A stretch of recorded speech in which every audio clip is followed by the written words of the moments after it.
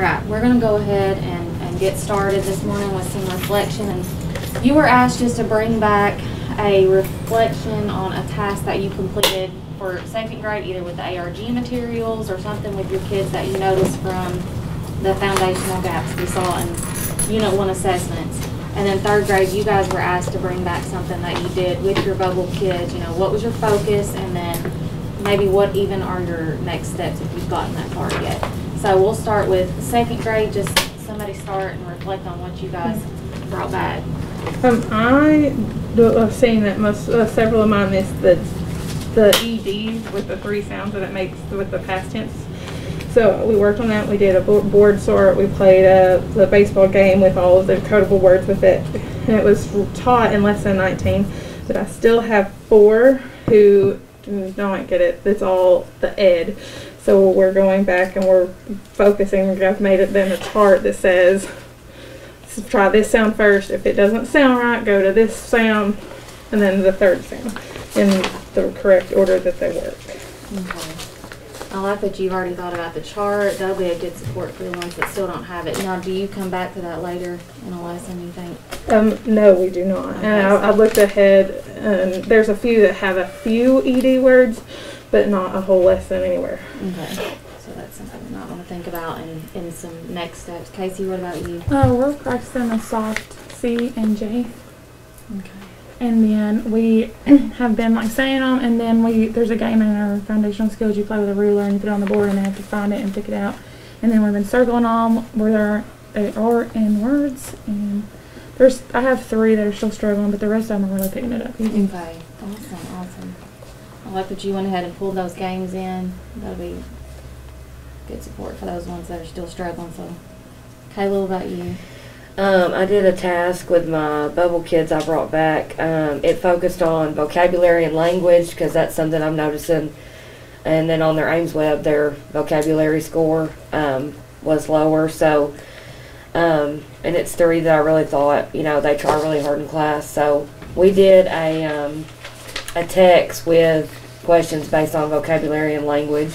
And then they actually had to do some writing at the end of it. So, we kind of talked about they've still got we've still got work to do. I'm going to try to do one of these with them a week for a while, and then see if they're better on getting more answers right on their own. Because like yesterday, they did it, then we talked about it, so they would mark what they got wrong, and um, some of the things like we talked about working backwards when you get asked for the the discussion questions or the writing prompt to see what it's actually asking you to kind of break it down for because like one of them, you know, he read this one. It's kind of a long prompt, and then he was he asked me, he said, "What do they actually want me to write about, Miss Kayla?" So then we worked backwards and underlined the last sentence, which was actually what it was asking him. And I said, "I know that was a lot for them just to." Yeah. You know, Yeah. So we worked on that, and um, then with the vocabulary part of it, context clues, made them circle the words around the one they didn't know, and you know, underlining that sentences in and then go into the question and you know Okay. going back to the text before they answer the question Okay. So it sounds like you are working on strategies, to try to help them Yes, when they're you know get to this stuff which will later help them on the TNReady Yes. Sounds, that's great. All right, Mr. Alex. Uh, we had our um, first focusing task question where they had to uh, put together an actual uh, paragraph. And um, so most of them did really good with just having the parts um, and what have you. But the, um, the higher kids, um, they're able to kind of put it all together and get their thoughts down on paper and it's organized. Uh, whereas the middle and those, some of those bubble kids, they've got their parts, um, but it's the explanation and really uh, kind of having putting together a complete coherent paragraph that they're still struggling with. And so uh, we've got to work some more on, you know, when you put that piece of evidence, they did a really good job of pulling them out, but their explanation might be uh, just simply because the poem said so or because the book said so. And uh, recognizing that they've got to go deeper uh, with their thinking.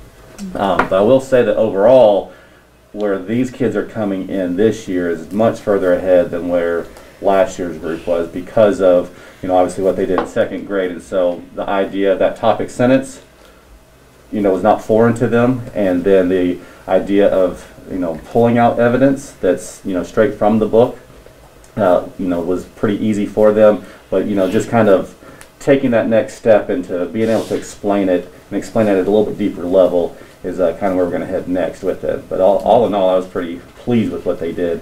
And then obviously the grammar and stuff like that, we need to Okay, continue so, to. and hopefully today we'll kind of look at some of that and, um, determine some, some groups maybe that we can pull for, for that and stuff, so. Yeah, we Yeah, kind of decided to work on grammar as a focus with this bunch that we've got right now. All right, that's all. Let's look at our norms today. Um, everything kind of, you know, the same, begin to end on time, necessary material, stay on task, and working conversation. So if there's anything that you want to put in the parking lot, jot it down on a post-it note, and we'll get to it before, uh, you leave today. Um, our meeting goal today is to begin to establish expectations for small group, which is gonna look different in both, you know, second grade to third grade. But um, our need is going to be how can we implement routines and procedures to ready students for small group and instruction, in, instruction and what routines need to be in place beforehand. Um, so I- we have a table that I gave you that is the looks like, sounds like, and feels like. So we're just going to think of this as if somebody walks into my room or me as the teacher, um, what does that look like? For me as a teacher, what does it look like? What am I doing in small group? So let's just think about that and kind of get some ideas down on paper. What is what does that look like? What's the teacher doing in small group?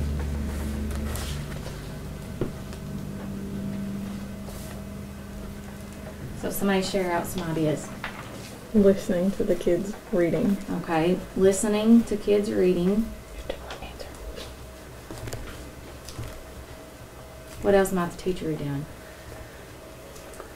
I think the teacher's leading That's what a group. Okay, Yeah. leading a group. I put like over at my table with three to four kids. Awesome. What about um, materials? What does that look like for the teacher?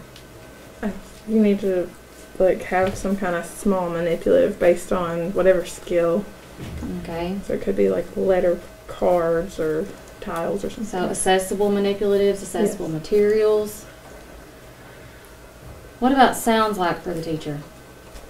So what is the te- what what if somebody walks into the room, what are they hearing the teacher do? Prompting questions. Okay, prompting. What else? Leading. I mean, you could be a work, you know, reteaching a skill. Okay, reteaching. What do you think the experience for the teacher is? What does it feel like? Well, there was a- There was a need to be there, so like you've looked at data, you say experience, so Yeah. it's gonna mean. Yeah, so it feels like, um, use of data for support.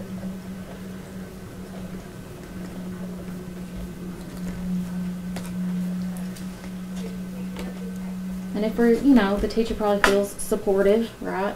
So that would be something we could add in there for that support with data. Um, so let's think about it in the student's perspective. What does it look like for them? What are they doing? What does it look like for students? What are they doing? They're using the manipulatives. Okay, using materials. What kind of materials? Let's expand on that a little bit. Could be a Chromebook, Okay. too.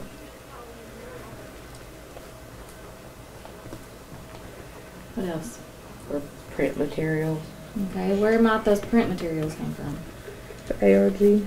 Okay, ARG materials. Codables. Big one. Decodables. Anything else? I mean, like, you could be using those wit and wisdom fluency passages and Fluency passages. Or a text set, like I was doing with the Mhm. questions. And keep that in mind today. Text sets. And that, something to go with. that makes me remember, Stacy, on the looks like for the teacher, we're probably taking anecdotal notes because we were Yes. talking about the decodables or the text sets. I heard Mhm. Kayla say. I marked my paper up as I, yeah, worked with them, yeah. Kind of noting what they were doing Yes. as I watched them. What do the students sound like? What are, what should we be hearing them do? They could be quiet, or they could be talking to the gr- the small group. So, uh, appropriate voice Yeah. tone.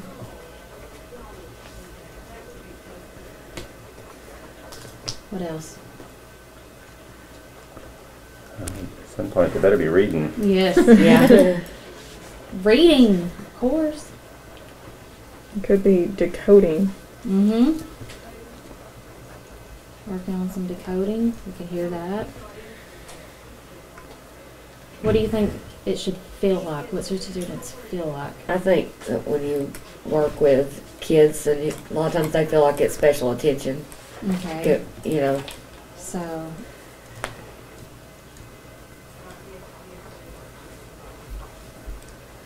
like I think if you make it know, like I'm uh, pulling you to help you on this, you know, I think it makes them feel special. Okay. You should feel success, and then you'd hope that you're also maybe have the opportunity to. Some of them should feel challenged. You know, usually always think about the lower kids that need Mhm. help, but you also have the opportunity for your higher kids to push them and challenge them in small group. All right, yeah, challenge. Good. I think we've got some great ideas down to sort of lead us into what we're doing today. So as we move on, let's look at that next slide because we're going to dig deeper into small group instruction and kind of the look fors that we have established. So if you click on that, it'll bring up a document and it's also attached to your handout too if you want to look at the hard copy. The looks for this. Yes.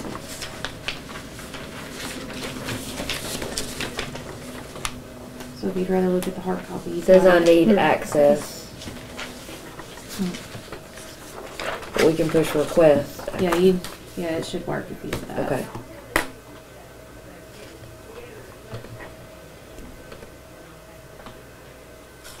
Hard copy it is. Yeah. So just take a minute to look over that, see if you notice, just notice and wonder about anything. Um, maybe even something you saw in connection to what we wrote down on our small group look like, sound like, and feel like.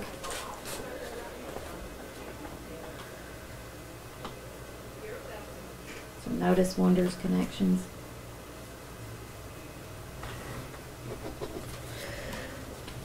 I have a question. Are we Mhm. waiting a minute?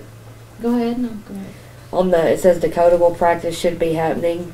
Now, I don't have, Right, Or- and so for you guys, it, we'll talk That- about that some part's different. yeah, Okay, it- that's It what I might was- look a little bit different, okay. and I'm gonna give you some more time in a little bit to look over it, especially second grade. So, when we took a survey, um, couple weeks ago about small group instruction, and I took it and I sort of looked at the three top needs that were selected by teachers. The top were culture and management, planning, and small group. So I thought today we would just attack one of those, culture and management. Um, so when you look at, it's on slide seven, I pulled out those look fors and I thought, you know what, look fors match culture and management. Well, number two was materials accessible for students not with the teacher. That has a little bit to do with culture and management. We've got to have materials accessible for them to keep, you know, them on task. And then number seven, partner read routines. I've got to have those in place for students to stay on task when they're with partners. So for third grade, that's going to look a little bit different because, like you said, you guys may not be using decodables. It may be, you know, we've got G- Mr. Alex has got the geodes, but then we may also somebody may be using text sets. They may be using writing tasks. They may be doing reading and citing evidence. So your small groups, they may be working on some different things. Um, so that's my third grade, I'm going to get you started in what you're working on today while you guys visit that look for document a little bit more, looking for notice, wonders, and connections to what we wrote down on our table.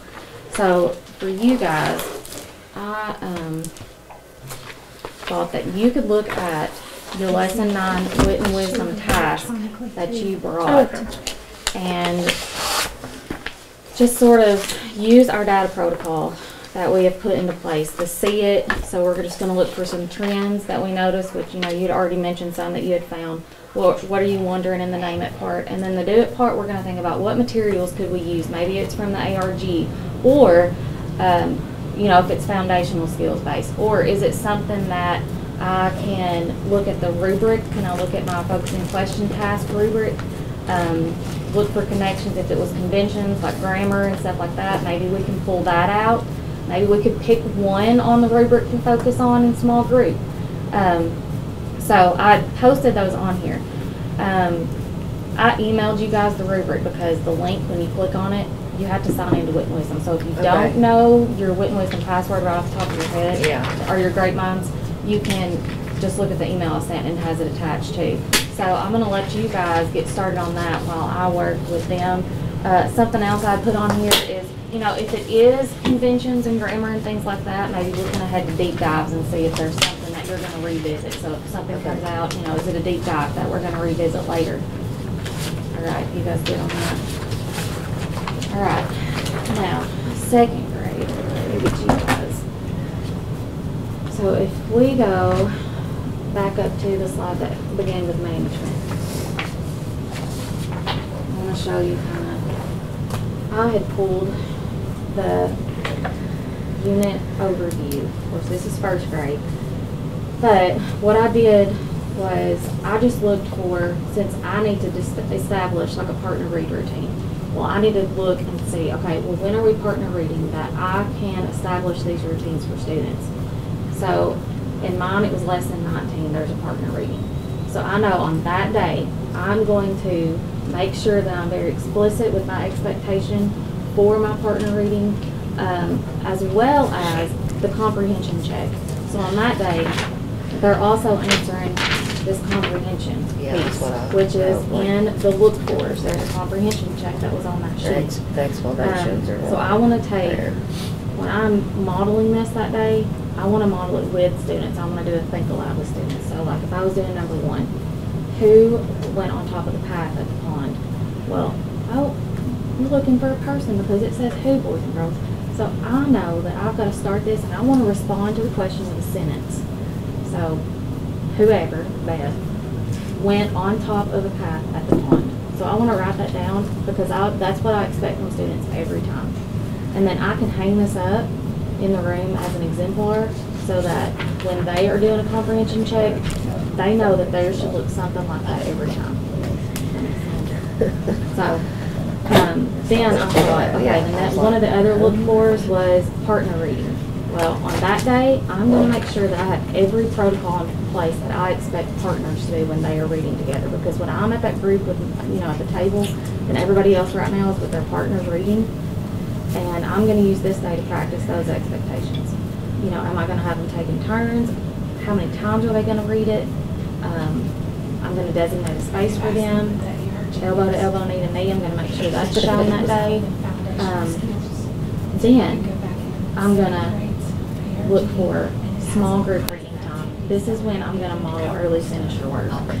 Okay, because you're always gonna have those kids that are finished early. Now, well, where do I find materials for those kids to do? Yeah. Well, in the supplemental part, which That um, on first grade, it was like on the very end of one of the lessons, chaining. So I need to model for kids what I expect. One kid is given the words, the other kid's chaining on the board. Then they can switch jobs, but all of that has to be modeled beforehand. Um, another supplemental material I could use is the phrases and sentences part. They could be highlighting the tricky words, so that's something else I could add in there, especially if it's kids that are having trouble with tricky words. And I put this, this is what I use to kind of guide me through that, is students not with the teacher plan. So, uh, I know I named it real fancy, right? Um, and that's also connected on that slide, so you can use this plan to go through your lessons like I did. Look for, okay, when are they doing a comprehension check? What are my expectations? What tasks will they not, will they do when they're not with the teacher? How will they partner read? How will that be documented? Or is it gonna be the same for everybody? Um, how many times are they gonna read? So this is all of the things I'm thinking about as I'm preparing for this model. Okay. Okay? Yeah, I'm glad to know let about you that, look because this at, group's a little more um, behind than a what I did saw in you first have grade. that's upcoming. They're more behind than last year's. and kind of outdo the outline. So yours is That's attached, good. I think, to your, um, see, I got a that of doing with it those right kids. here. Did I what? Yes, so that you have them all Stuff like divided that. too. Okay? compliment. Which the, this was pretty did. hard, but I wanted it to have words in it the they didn't know, so that we, so I had pre-pulled a few words. So really though, for those three, the, the text was pretty hard, but I did want it to have some words in it they didn't know. This You actually look had second two grade. discussion questions too, that, so that was, Upcoming, and these are, especially. these are tough, I mean, honestly. Well, I feel like this group doesn't, their, their ability to think with some of the harder stuff is above what last year's was. Last year's group. Much better, Like, yeah. I'm Less than- yeah.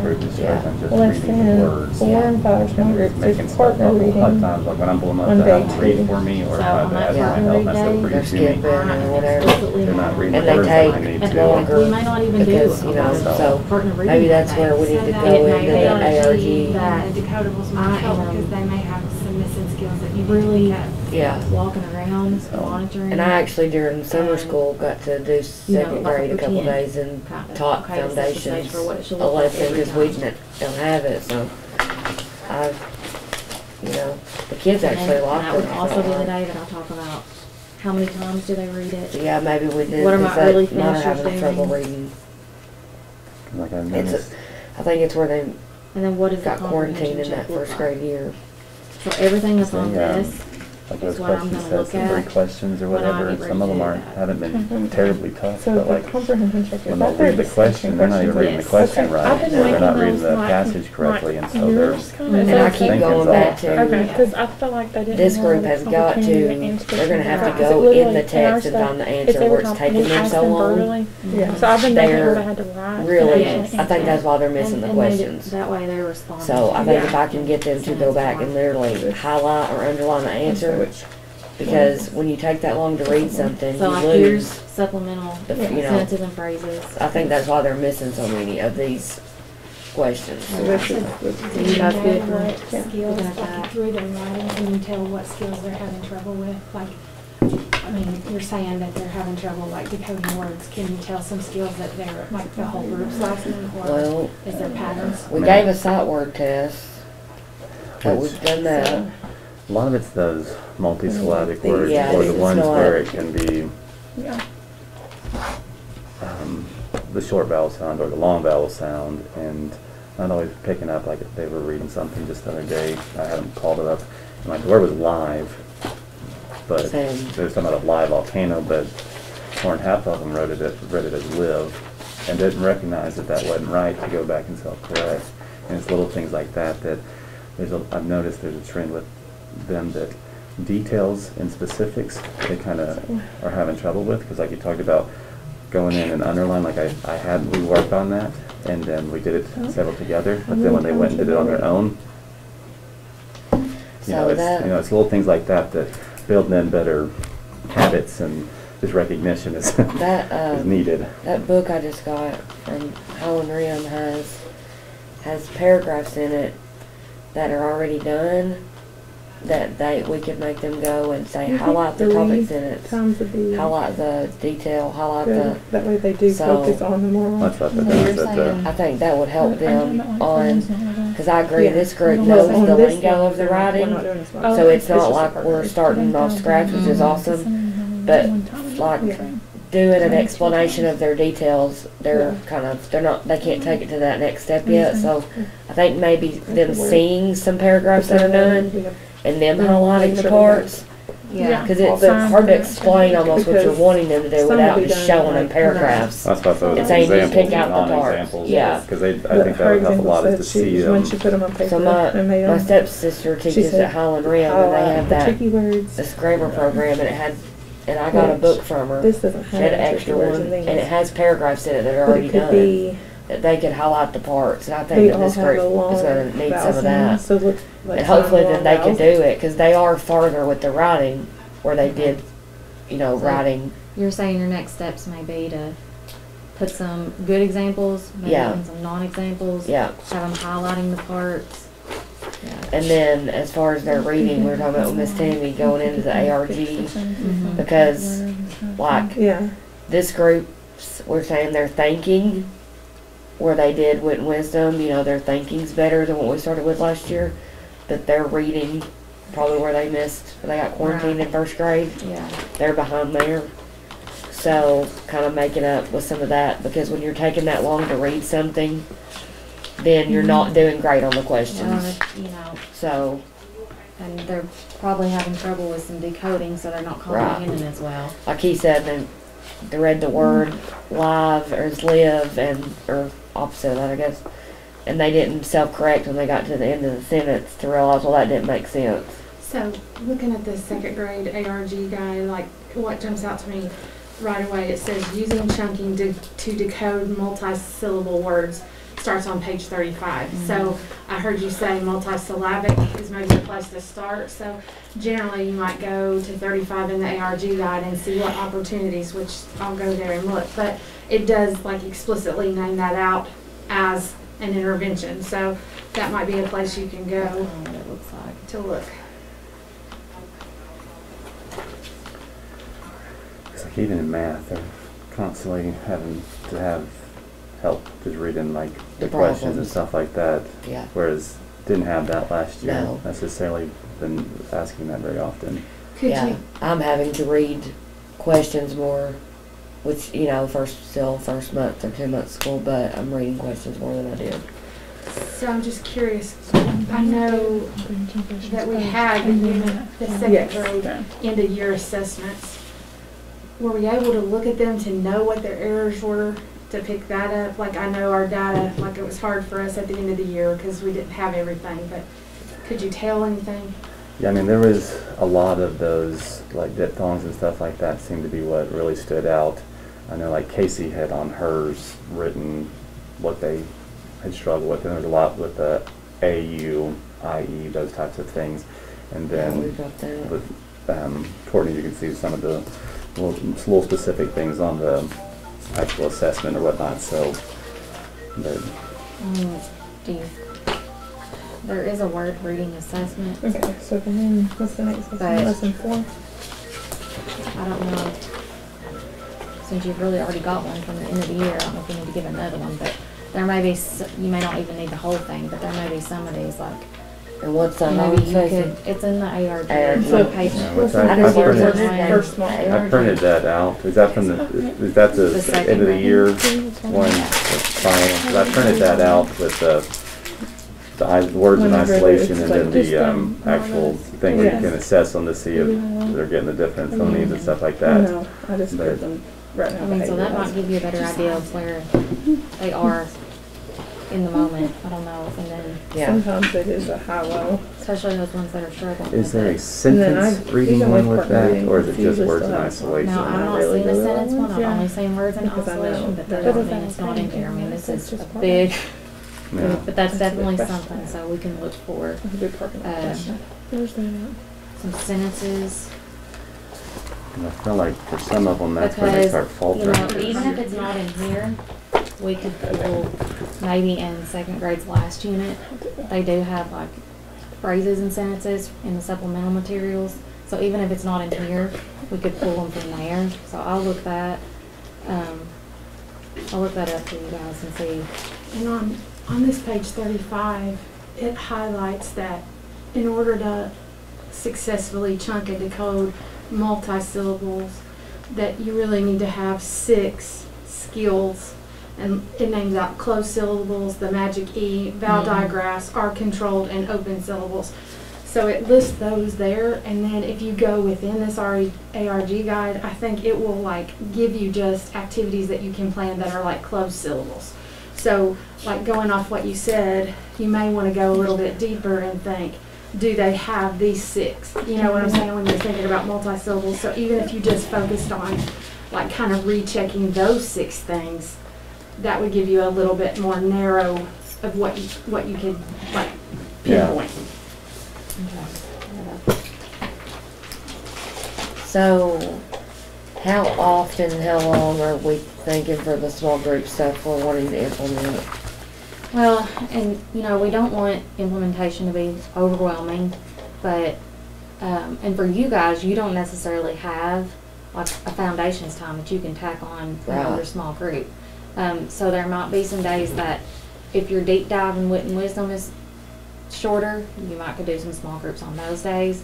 And, you know, I think even with them, it's gonna differ a little bit until we kinda get our feet under us and get used to having small groups more often and make sure we're following, um, when it says small group that we're, we're implementing it and doing it, then, you know, it's not every day. It's, for them, I think it's like mostly three days a week, you know, so even if you could implement that now and focus on, hey, I'm, this week, I'm gonna try for this many days, I'm gonna try to meet with this many groups, you know, so there's not like a set number yet. especially in third grade. I think you need to look at your schedule and like what is doable for your schedule. Yeah.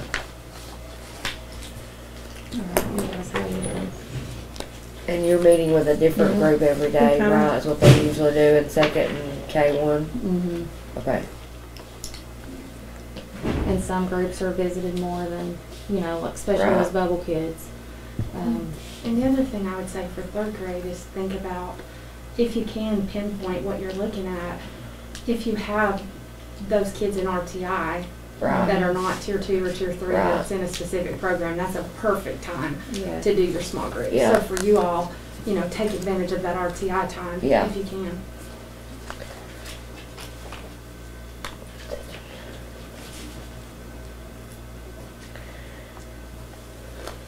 We we kind of went through lesson two, which is our first um, partner read. Uh, we kind of gave you all determine permission what we that would document, Okay. use the one you were as trying to open. uh, The how we model it. in the bottom of that, Our There worksheet we need to create instead of just orally It's asking called, questions.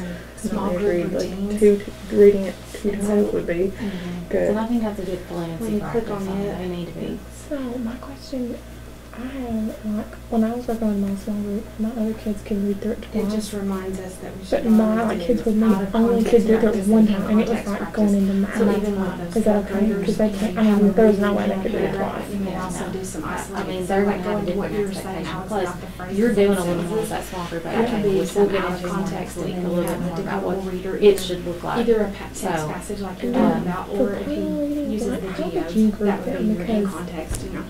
So Well, this- this gives you a high, small but then group there's routine you can low, follow. Now it's Okay.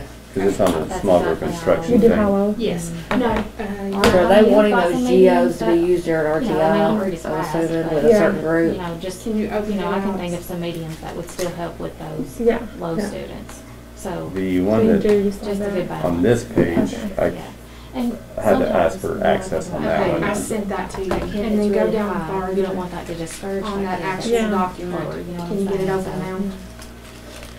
And that's the thing the too, little four is you can switch up those partners, it's not like it's, Yeah. it's, you know, set in stone, but you have to leave them that way. Um, but, yeah, I The one think that says that's tier one, group expectations. Yeah. A good start. And then while I was looking at like Um, routines and stuff, and then it said noise level. so I then thought about this my fancy part right there. Yes. They respond to seeing, physically seeing the volume. And then the light switch, my kids know So if it's on, they can't access- come to my Okay, table I'll when send we're that. doing small group.